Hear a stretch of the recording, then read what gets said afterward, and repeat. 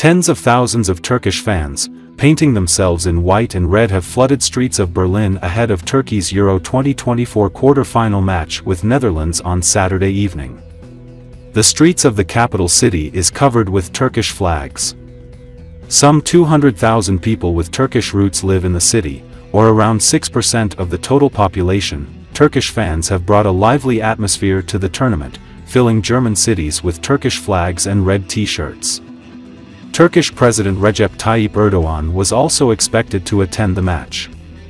Earlier, the Berlin police announced on X that fan zones were being closed due to the weather forecast, adding that these could be reopened depending on weather conditions.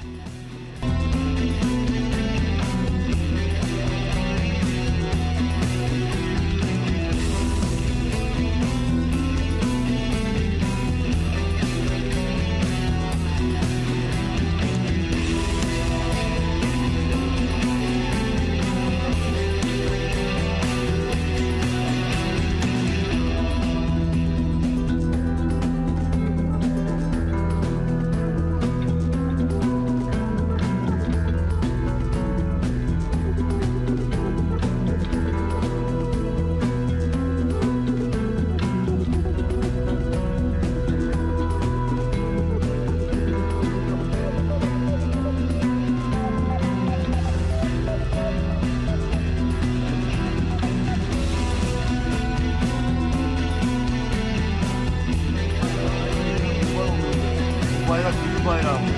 Renkli bayram. Mükemmel bayram. Allah'a emanet.